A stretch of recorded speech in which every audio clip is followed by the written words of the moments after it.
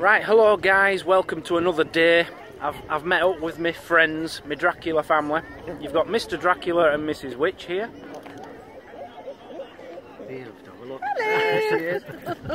uh, where are we? Beamish. Beamish. Beamish Museum. I don't think I've ever been. I've heard about it. I thought I might have been, but judging by this queue and how big it is, I don't think I have. I think I've been to similar places. Really looking forward to this, but we're in a queue, a massive queue, massive queue, massive queue. And I need a wee. So I'm trying to hold it in. I'm talking about excited. I'm dying for a wee. but yeah, we're gonna have a good day. So let's see what happens. Okay, we're in Beamish Museum. It's massive. You need a tram to get from A to B. When I say tram, it's one of them things. They're like buses on skates. Um, it's very windy, and I've not brought my proper camera. I didn't want to carry it around. Um, first mistake of the day. Okay, I was desperate for the toilet. I was waiting in the queue to come in. So these two had fast passes. They had like free passes to get in. I didn't, so they had to wait. Well, we had to wait in the queue where I could buy a ticket. But I needed the I needed a wee really desperately. So they give me one of the fast passes. I got in straight away to get to the toilet. So I went to the toilet. Um, I went in the women's toilets, didn't I? I went in the women's toilets and the women give me really funny looks and then I walked out and the men who were waiting for their wives to come out give me funny looks. I did eventually get to the men's toilets and I had a wee. I washed my hands, don't worry. Um, but not the best of starts. We're just in the kitchen at the moment and there's a lovely lady here. She's making bread how they used to make. What century are you in? we're in 1825. 1825 they're making proper... Can I show this sign? They're making proper bread. I don't know if you can see that. That's the ingredients. Uh, rye meal, flour, warm water, salt and yeast and she's just made it. It's rising. It's rising. Yeah, but if you lift that off, it's going to not rise. Uh, there you go. Fire's on. It's all ready to go. But I've just explained I made in a video. Can you remember I made some bread and it was literally just beer and flour. She's going to try that. I'm trying to bring her into the 21st century. I don't know what you'd call this room. That was the kitchen in there. But people are making lavender. Go on. It does smell nice. You've literally got a box of. No, no, no, no, no. Is it la- Is it real lavender? Yeah. Yeah. Oh yeah. A box of lavender. You get a piece of cloth and you wrap it up, and then what do you do with it? Come on, you're a witchy person. What do you do with lavender? You put it in your drawer, make your socks smell nice, wouldn't you? That'll take some doing. Make your snot, make your smocks, Socks. socks smell nice. Yeah, you put them in That's what washing machines are for. No, but people like you have been away from home for a year. You might need some of these. Just coming into the parlour now, and my Dracula family don't like it, and I'll tell you why. There's garlic hanging up off the off the walls there, off the ceiling. They're not real. Yeah. Yeah, that, rabbit's real. How can they be real? Taxidermy. Oh, do you think they're stuffed? Yeah. Just feel his paw. Oh, it feels real. That's a rabbit. That's not real. It is real. That feels like a Kentucky Fried Chicken leg. That ain't real. I bet that bit's tasty. What about this? Look at this. That's not real. That's the first style of pole dancing. but yeah. Okay, we've come upstairs into some kind of bedroom. Curtains are too long. They should have made them the right length. No one's made the bed. Two people sleeping here, not made the bed, and there's a big stain there. You wouldn't, honestly, this would get a one star in a hotel, if that. You know when you go on TripAdvisor and you give one out of five, you'd wish you could give 0.0001 out of five in here. That is definitely we. We're having an argument at the moment. Is that we or is it not me? That's we. Someone in this museum has gone out of the way to make it look like we by weeing. It is very authentic because it is we. So this is like a. You don't have stains on this bed, so I'm guessing this is like someone posh. But you see lavender in a little bow piece of string there. And Martin and me Julie are trying to get me dressed up. What what's There we go. Yeah, you It's all ready for you. but that's like a girl's No, it isn't. You've got something like that on underneath. No, this is a That's not for a man. I feel like that man, what's he called? Dan, Dan the highwayman. No, I think Adam Ant. Adamant. Adam Ant, yeah. stand and deliver. You're showing your age there, man. It's been a long time, Dan. Oh, this is going. This is going to stay.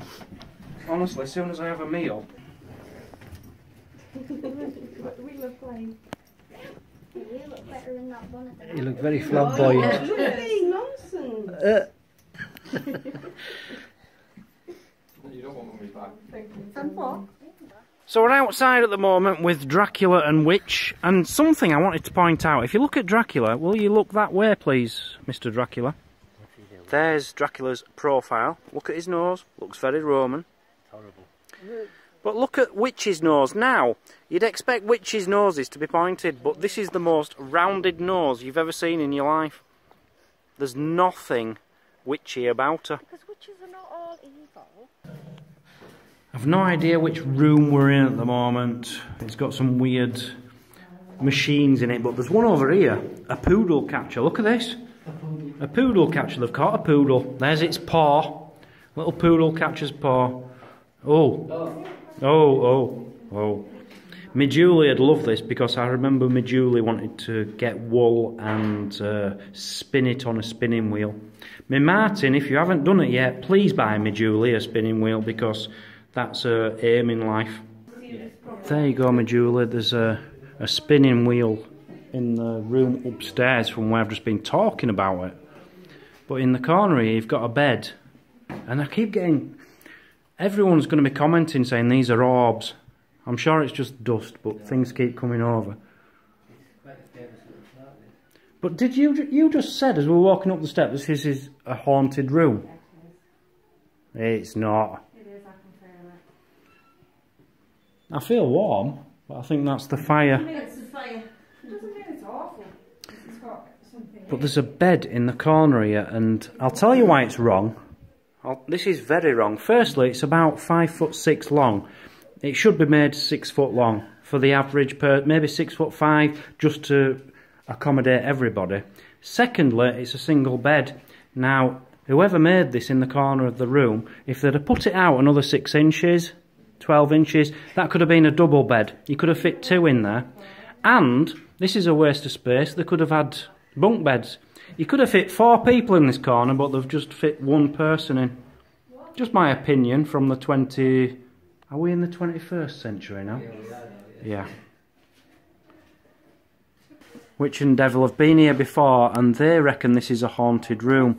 Now, they have given me some I'm a bit sceptical when it comes to to ghosts and things. But when I stayed with them last time, they had like a recording and it was a train in the background. There was no train, but you could hear a choo choo of a train, literally, and it was very convincing evidence if I'd have been there and seen there wasn't a train there, but I wasn't there, so I don't know if there was a train there.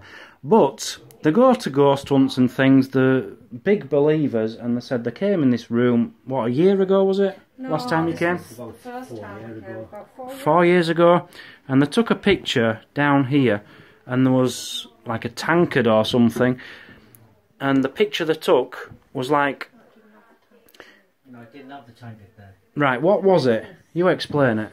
We took a picture of the room. You took a picture of that ca- it is, cabinet, like yeah, Blank like it is. and But when we got home, There was a picture with a tankard on it. uh, like a, A jug, a, a milk like a jug, milk jug, wasn't it? as though someone was slamming it down on that unit over there. so on the picture was like a milk jug And the liquid was. and liquid coming out of it.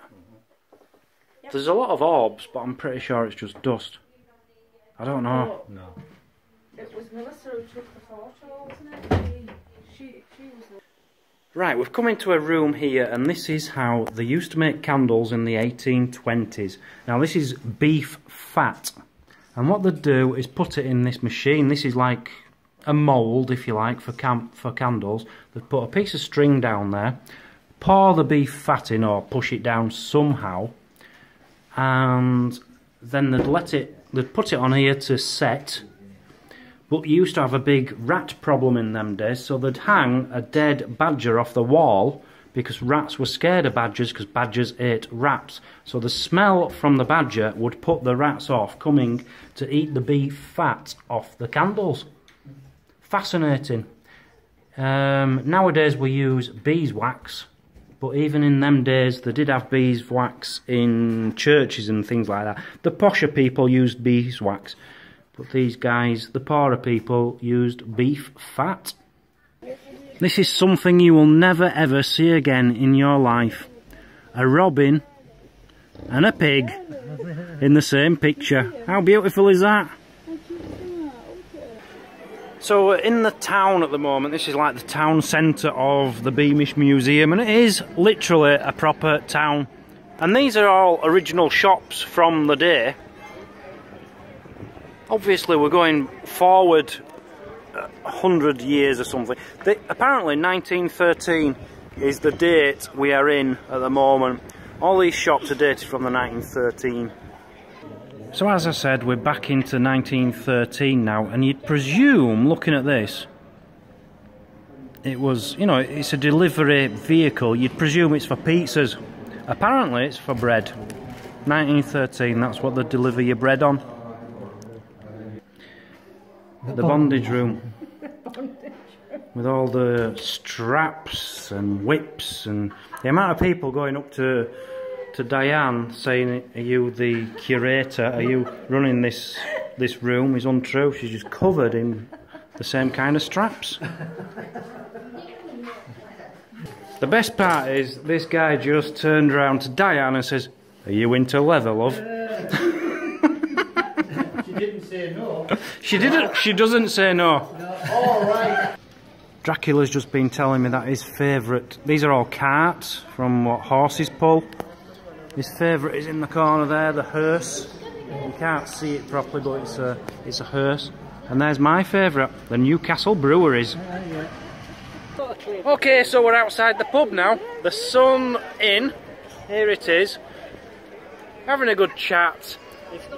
I've tried to say one thing I'd love them to do in this museum is as you come in, even if they put the price up another five pounds, which I wouldn't mind paying because I didn't pay a penny to come in here. It costs a fortune. Diane paid it. But I'd rather than put the prices up and we all have to get in costume. And then everybody walking around would be in the costume from the era, which would look fantastic. On top of that, what else did I say people should do? Oh, use old money. You know, have machines and you have to put your new modern money in to get old pennies and stuff and spend old money. Make it as authentic as you can. Anyway, we just stood outside pub, as you do.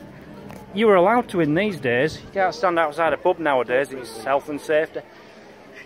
Uh, what, what Martin just told us his claim to fame. It wasn't a claim to fame. You just did, he say claim to fame? Right. It was a mispronunciation of words. What was your claim to fame again, Martin? Please tell us again. I remember the age. Yeah, go on. I remember going for all the way from Stockton. Yeah. To Somerset. Speak up a bit. You went from Stockton, which is where we are, Yeah. to Somerset, which is the south of England. Yeah. by steam. By steam. What you mean a train? Steam train, yeah. That's your claim to fame. It's not a claim to fame. It's You went part on- of life. Martin has been on a train from here to the south of England, and that's his claim to fame. Get in. What a life he's led. Okay, we're in some weird old house from 19, I don't know, 13, the rest of the street, 1913. There's a dog here in a cage, and apparently, what happened? An old lady sat on it. The lady who owned it had a big dress on and she didn't see it and she stood on it. The lady who owned this place had a big dress on and the dog was hanging around her ankles and she stood on it and killed it. And it's actually stuffed and it's in the house now. That is a real dog. Killed in this house by the woman of the house. Amazing. So this is the dentist's room. This is what it would have looked like in 1913. Now I'm scared of dentists. I'm terrified of needles. But I'm not feeling too bad at the moment. I can cope with this. That's not changed. They still have a spitball exactly the same. So we're in 2017 now, and nowadays, if you go into a bathroom and you see a toilet seat like that, you think it's a bit outdated. But I'll tell you something there, the comfiest toilet seats you could ever sit on. They're warm. That, that wooden toilet oh, seat's warm. So at the moment we're stood next to the railway line and I've just learnt something. I was just talking about these weeds. Can you remember these weeds from the 1970s and 80s? You don't see them anymore. You just told me what they're called. What are they called? Railway weed. Railway weeds. They actually brought these to the railways in England, in Britain, to stop the banks from falling down because the roots would hold the banks up. Because all railways have banks going up each side and they were introduced for that reason. Okay, so I've been ordered not to tell this on camera, but who can help it? Who can help it? I'm Deep Digger Dan, this is what I do. My Martin here, as you might have noticed, Martin has very long, beautiful blonde hair. Look at this, it's beautiful. Apparently some guy went up to him, him uh, some guy saw him from a distance in a petrol station once and says, and shouted over or said, would you mind if I have your telephone number? He quite liked him. When he got closer to get his telephone number, he realised it's not a woman, it's a man. Uh, did you give him your number? No. Are you sure? Well, I'll see him next Saturday. See him next Saturday. He yeah, he was in a petrol station and a man came up to him and asked him for his, his telephone number because he looks like a girl with his lovely girl hair. But I'm not allowed to show that in a video. I've, I've said I won't do it. I won't even get into the story about when Martin was in the toilet having a wee and another man came in and says, Oh, sorry, I've come into the wrong toilet. Yeah, I know. That's all the time. There's a bit of a steam thing coming past, and Martin is obsessed with steam trains. If you go in Martin's loft, he's got like a massive steam railway, you know, like a model railway thing set up. And he spent years on it, and it looks amazing. I saw it two years ago, I haven't seen it since. I might try and pop up and have another look before I leave. But yeah, anything to do with steam uh, engines, don't have to be trains, just anything to do with, you know, like invention, steamy, iron, you know, that boring stuff which no one else cares about. He loves it, he loves it. I've never been into a women's hairdressers. I don't know how women perm their hair nowadays, but I do know they used to have curlers and all weird things on. They used to put their head in like buckets and stuff. This is like an old-fashioned hair permer. Look at this. Pretty big. I've no idea how, how would it work. You plug it in and electric would curl your hair or something. Look at that. Wow. It's just not happening. I'll do this for 20 minutes and if all happens I'll let you know. Moment of truth. No. Nothing. 20 minutes wasted. Come on, let's move on. Just walking up here and Martin's getting excited li- like a little child, aren't you, Martin? Yes, I He's seen a sentimental over here and he's getting well excited. It's essential. Oh, what? Essential. Essential. I can't even say it myself now. Oh, he's so excited. sentimental over here. I don't know if it's that or that or that, but he's really enjoying his sentimental. I just don't see the interest in bits of metal. I, I don't get it. For all you people who don't know what a sentinel is, a sentinel is a train.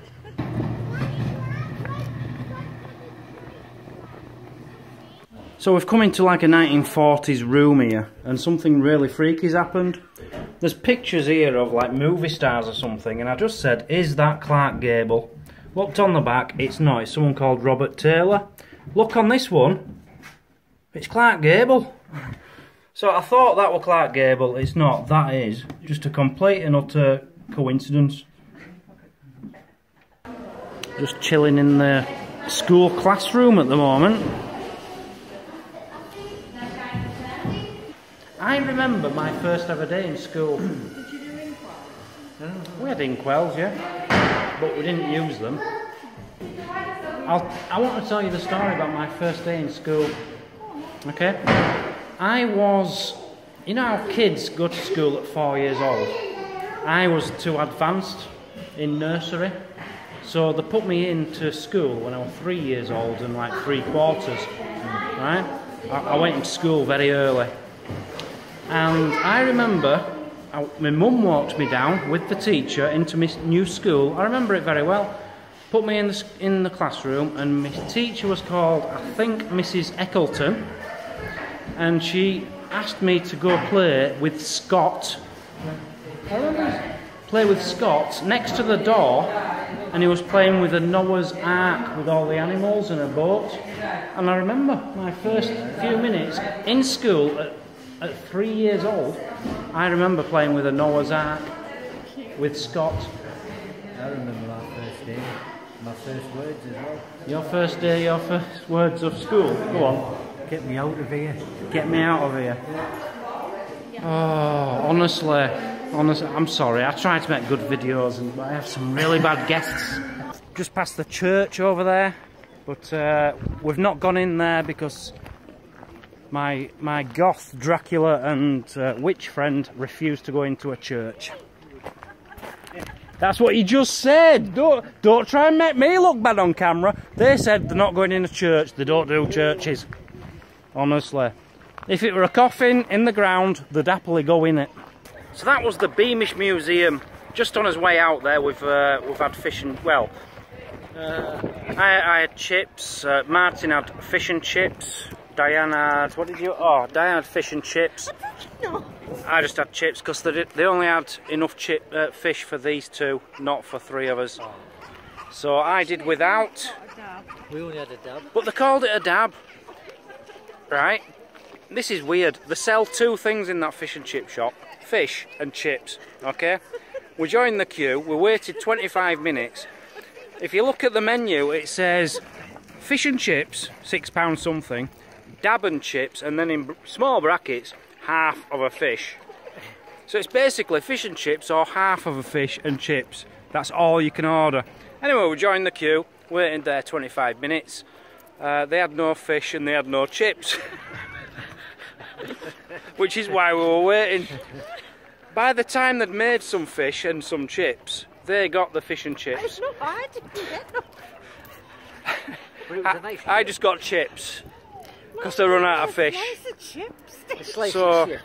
Wonderful fish and chip. Well, wonderful chips. I can't speak for the chips. Uh, fish. Oh, I give up. I give up.